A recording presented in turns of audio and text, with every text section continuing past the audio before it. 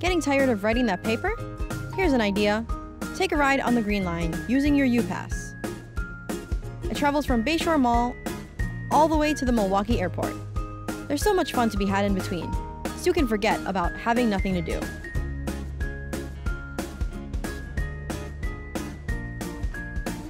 You can shop till you drop at Bayshore Mall.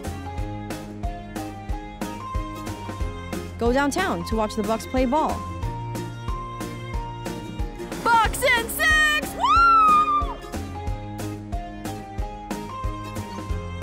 Check out the local parks.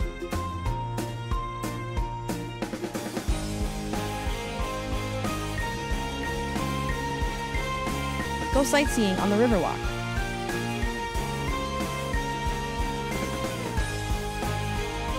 Or even get on a kayak. Imagine all the fun possibilities you can discover on the Green Line. It's all there, so take advantage of your U-Pass.